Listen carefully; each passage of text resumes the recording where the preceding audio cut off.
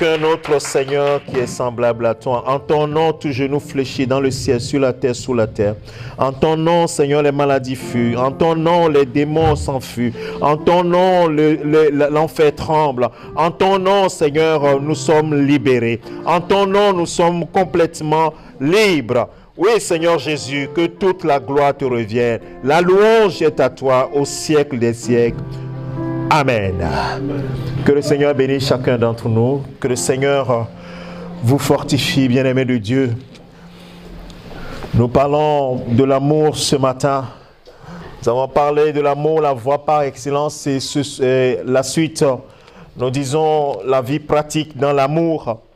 Le Seigneur Jésus-Christ, dans Jean chapitre 15, va dire à ses disciples, vous savez que les trois versets, les trois chapitres chapitres 14, 15 et 16 sont des chapitres très importants de l'évangile selon Jean. Et il va donner une recommandation à ses disciples. C'est dans ce chapitre qu'il a parlé du Saint-Esprit.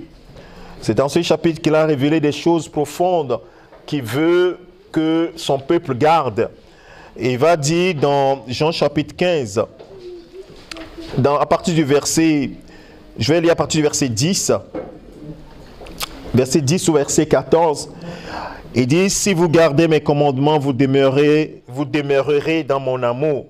De même que j'ai gardé les commandements de mon Père et que je demeure dans son amour. Je vous ai dit ces choses afin que ma joie soit en vous et que votre joie soit parfaite. C'est ici mon commandement. Aimez-vous les uns les autres comme je vous ai aimé. Il n'y a pas de plus grand amour que de donner sa vie pour ses amis. Vous êtes mes amis si vous faites ce que je vous commande. Amen. Vous êtes mes amis si vous faites ce que je vous commande. L'amour fait partie des thèmes dans le Nouveau Testament qui est revenu plusieurs fois, parfois traduit par la charité, parfois par l'amour. Mais en tout cela, nous voyons que l'amour a plusieurs facettes. Et il est important pour nous, en tant qu'enfants de Dieu, de chercher à comprendre davantage pourquoi le Seigneur Jésus a donné ce commandement à ses disciples. Il a dit, gardez mes commandements. Si vous gardez mes commandements, vous demeurerez dans mon amour. Comme j'ai gardé les commandements de mon Père, je, je, je suis dans son amour. Et après, il dit, voici mon commandement. En réalité, tous les commandements sont rassemblés dans un commandement. Aimez-vous les uns les autres comme je vous ai aussi aimé. Et il dit qu'il n'y a pas de plus grand amour que de donner sa vie pour ses amis. Il dit, aimez-vous comme je vous ai aimé. Je vous ai aimé, je donne ma vie pour vous. aimez-vous les autres également en donnant votre vie pour les autres. C'est en réalité, en substance, ce que le Seigneur Jésus voulait dire. Votre amour ressemble à l'amour que j'ai. Mon amour est un amour sacrificiel. Ce n'est pas un amour charnel. C'est un amour qui ne tient pas compte de soi, mais qui tient compte plutôt de l'autre. L'amour qui fait que Jésus-Christ n'ayant jamais péché, il a pu porter les péchés de l'humanité. C'est cet amour qui a fait que lui qui est Dieu, il a laissé sa gloire pour descendre au niveau des hommes et pour mourir pour les hommes. C'est cet amour qui a fait qu'il a marché sur cette terre comme s'il était un vulgaire, euh, une personne ordinaire. Et pourtant, il est le créateur de toutes choses. C'est par amour qu'il a marché où les gens l'ont insulté, parfois l'ont méprisé. Les pharisiens faisaient comme s'il était un vanupier. Et pourtant, c'est lui le Seigneur de toutes choses. C'est par amour que à la croix, lorsque les gens qui passaient, qui disaient, si tu es véritablement le Fils de Dieu, descends pour te sauver ou bien sauve-toi toi-même, c'est par amour qu'il n'est pas descendu. Il est resté à la croix pour nos péchés. C'est par amour aussi que lorsqu'il est sorti du tombeau, après, la troisième, après le troisième jour, lorsqu'il est ressuscité, il a dit à ses disciples, je suis avec vous tous les jours jusqu'à la fin du monde. Tout pouvoir m'a été donné. Allez, il y a encore beaucoup de brebis qui sont en dehors de la bergerie. Faites-les rentrer. C'est toujours par amour. Et c'est par amour que la Bible dit qu'il est assis à la droite du Père, intercédant pour toi et moi. Quand nous péchons dans 1 Jean chapitre 1, il dit que nous avons un avocat, chapitre 2, il dit que nous avons un avocat auprès du Père qui intercède pour nous à chaque instant. C'est toujours par amour que nous qui étions sans Dieu, sans espoir, sans alliance, il a fait de nous un peuple. Nous n'étions pas un peuple, mais aujourd'hui nous sommes devenus le peuple de Dieu. C'est par amour que le Seigneur Jésus-Christ, dans le sacrifice de, la croix, a pu mettre le pont ou bien briser le mur de séparation qui était entre nous et le Père et nous a réconciliés. La Bible dit qu'il en a fait de deux un seul. C'est par amour. Nous n'avons rien fait pour mériter cela. Et comme nous n'avons rien fait pour mériter cela, cela s'appelle quoi? La grâce.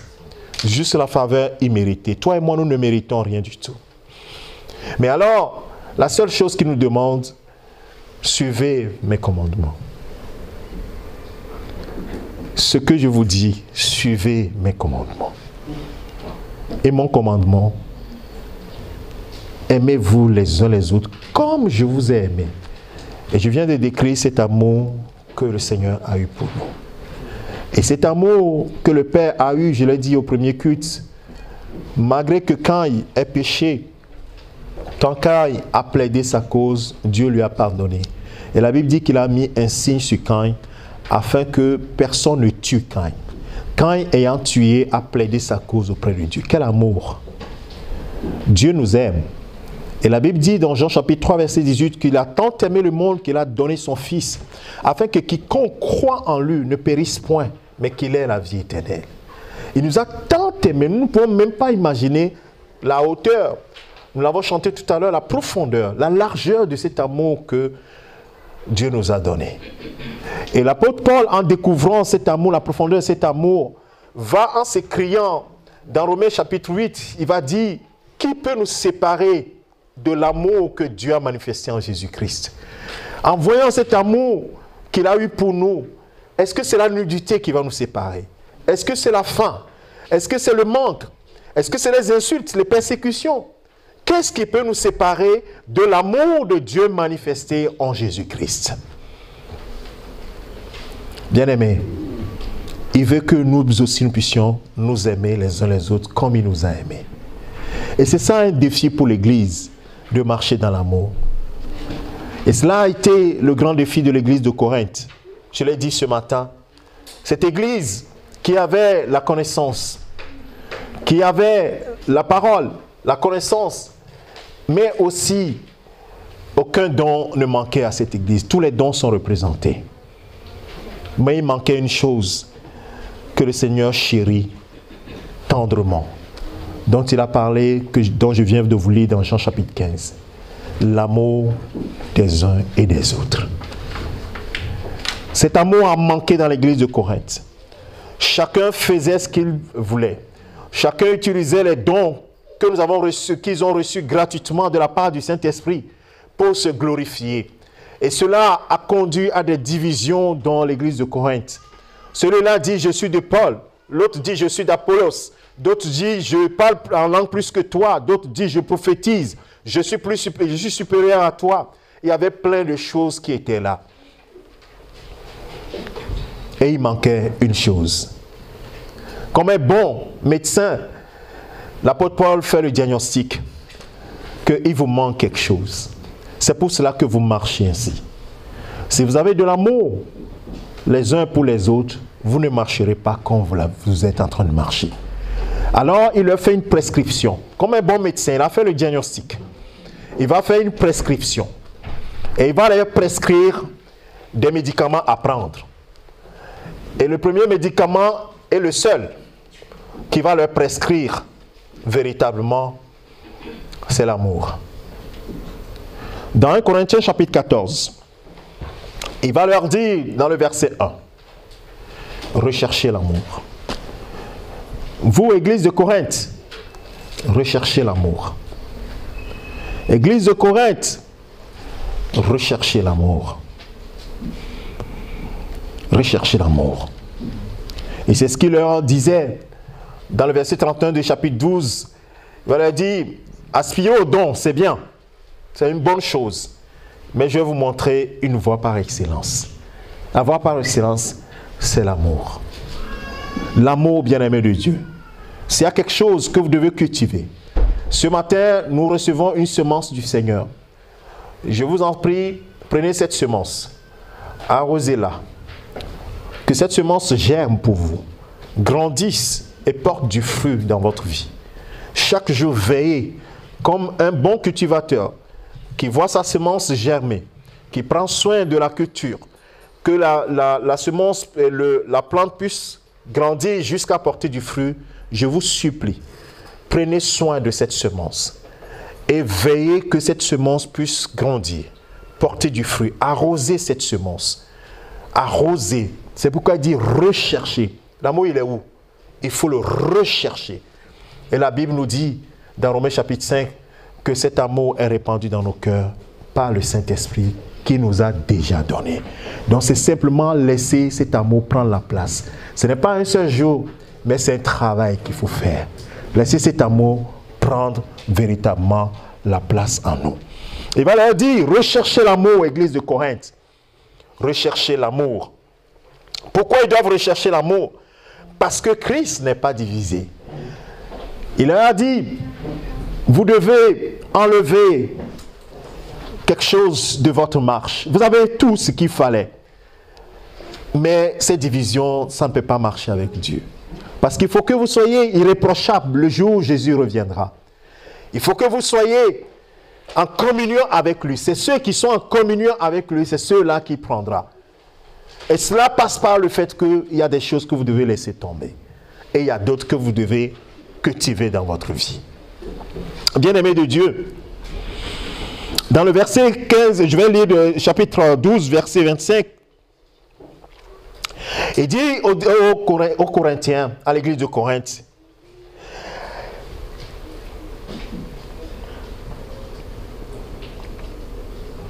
Dans le, je vais lire d'abord à partir du verset, verset 22, ou bien je vais lire un peu plus haut d'ailleurs. Verset 17. Si tout le corps était œil, où serait lui? S'il était tous oui, où serait l'odorat?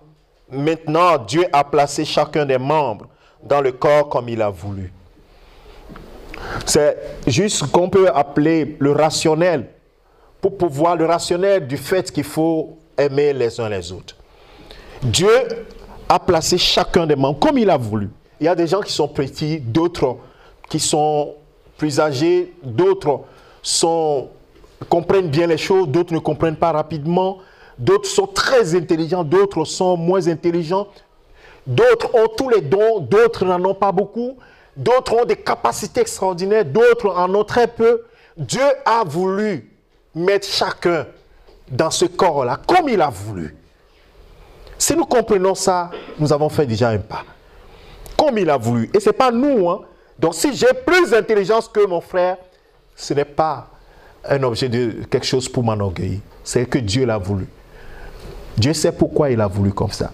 Si mon frère en a moins, c'est que Dieu sait pourquoi il a voulu comme ça. Mais en tout cela, nous sommes tous utiles au Seigneur.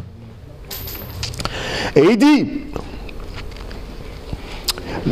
verset 22, mais bien plutôt les membres du corps qui paraissent être les plus faibles sont nécessaires et ceux que nous estimons être les moins honorables du corps, nous les entourons d'un plus grand honneur.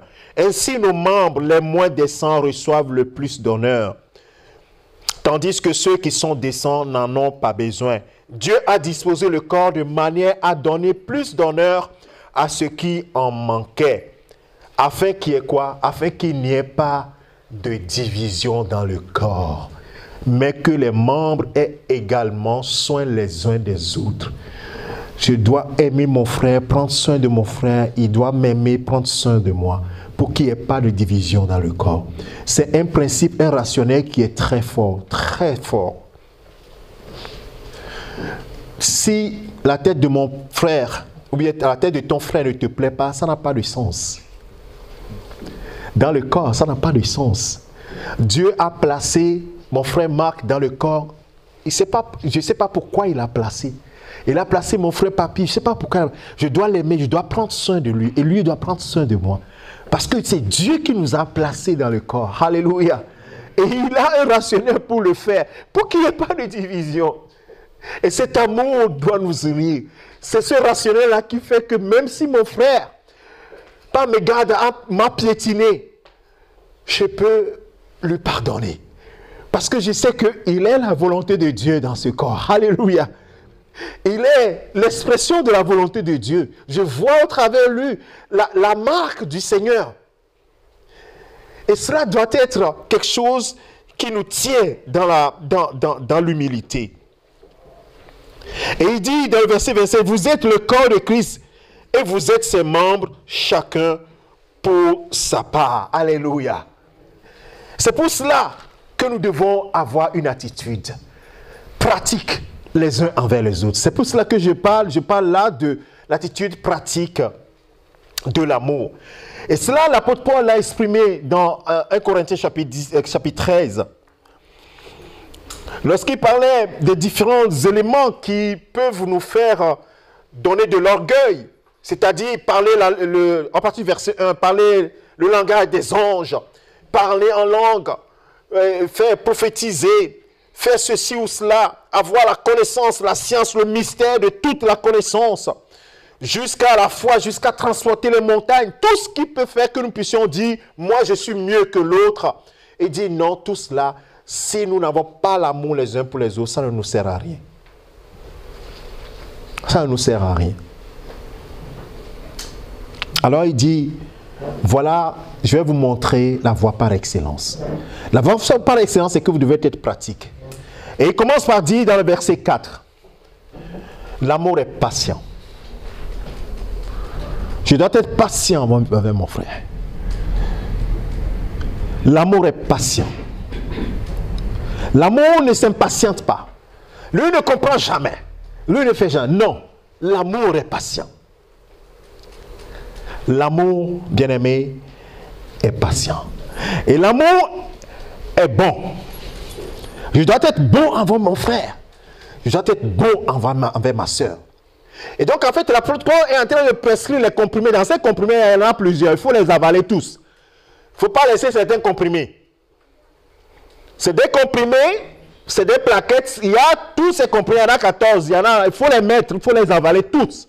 Ne faut pas laisser certains et d'autres. Non, pour être guéri, il faut les avaler. L'amour est patient, il est bon. Il n'est point vieux. Donc il y a les, comprimés rouges, il y a les comprimés blancs.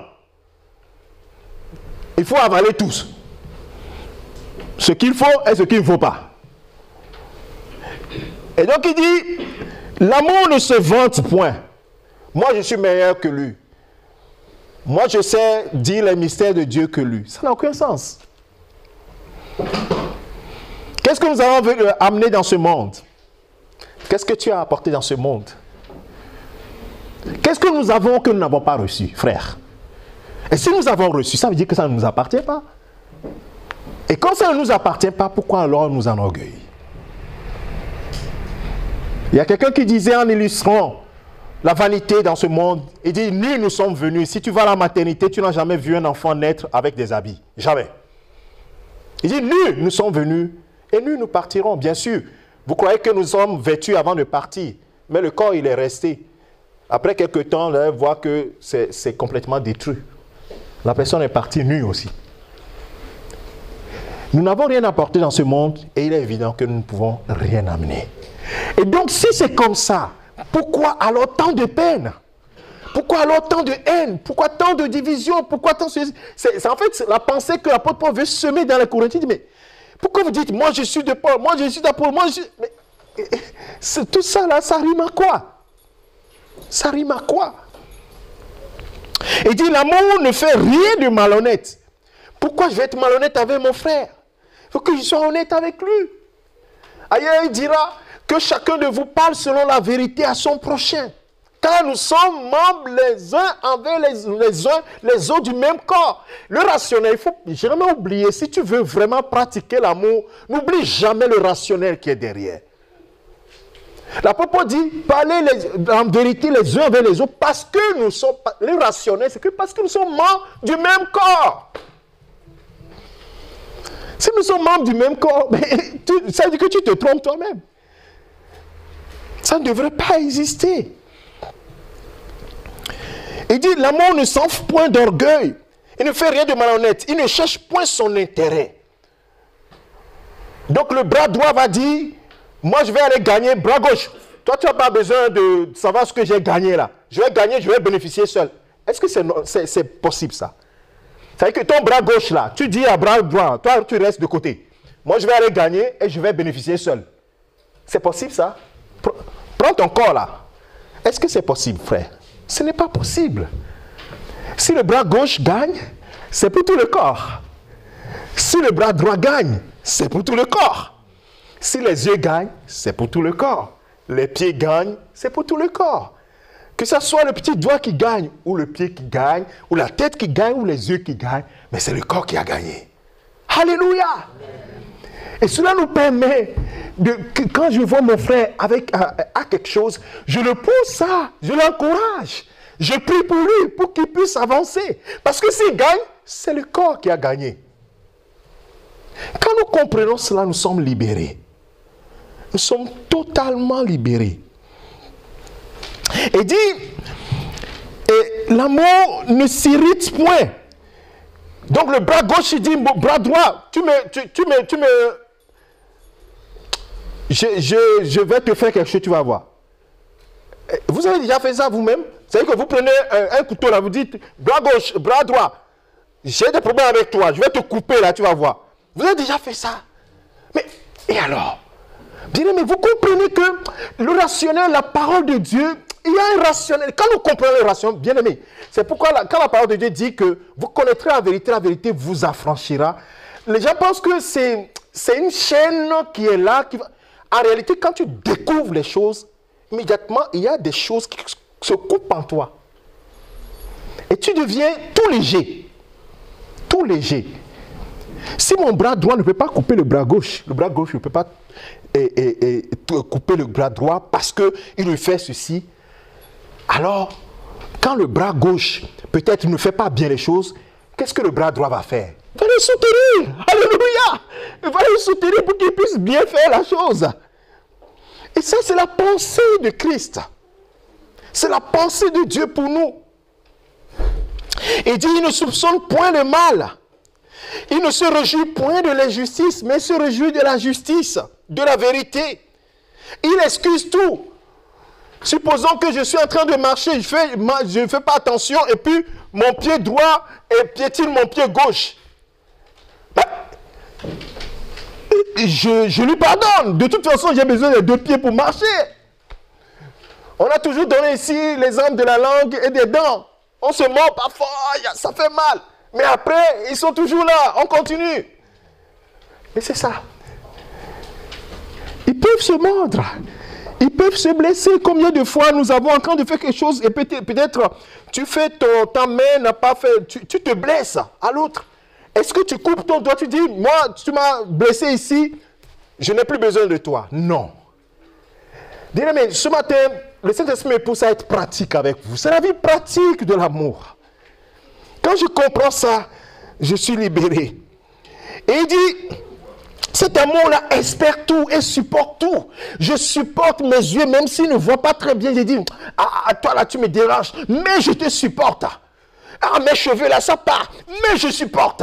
Ah, moi ceci, c'est pas ce que j'aurais aimé, mais je supporte. Et il dit, c'est cet amour-là qui ne périt jamais. C'est cet amour-là qui ne périt jamais. Et c'est justement l'amour que Jésus-Christ a eu pour nous. Vous voyez combien de fois, toi et moi, nous sommes tombés Et combien de fois nous sommes revenus au Seigneur? Oh Seigneur, pardonne-moi. Combien de fois il ne nous a pas pardonné? Cet amour ne périt jamais, frère. Ailleurs, l'apôtre Paul va dire que, mais, et, verset 9, non, non, je vais lire le verset, la fiche du verset. Il dit, les prophéties seront abolies. Ils vont s'arrêter. Ils vont disparaître. Si c'est avec ça que je vais, je vais eh, narguer mon frère, ça va s'arrêter.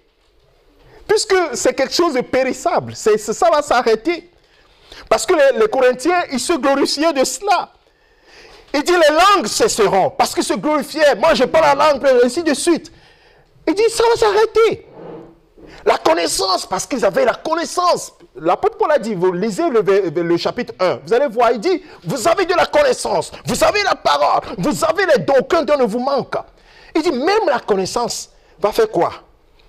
Sera abolie, va disparaître.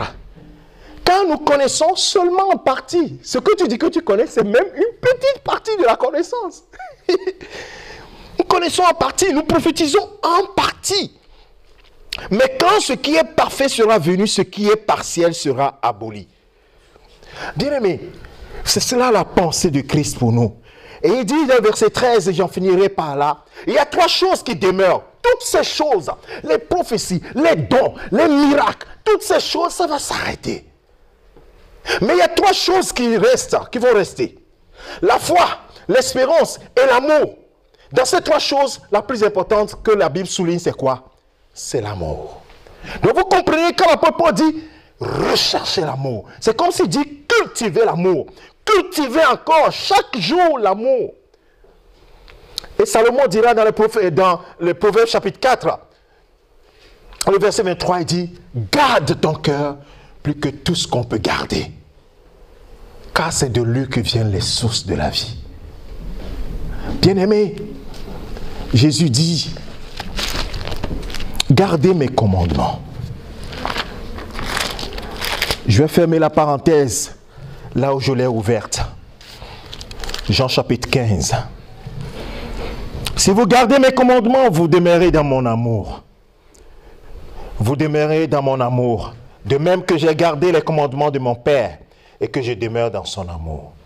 Je vous ai dit ces choses afin que ma joie soit en vous et que votre joie soit parfaite. C'est ici mon commandement. Il a parlé des commandements, mais il dit, c'est ici mon commandement. Euh, en d'autres sortes, en d'autres sortes, c'est voici ce que je vous demande en réalité. Voici, c'est ici mon commandement. Aimez-vous les uns les autres. Pas comme d'autres aiment, mais comme moi je vous ai aimé.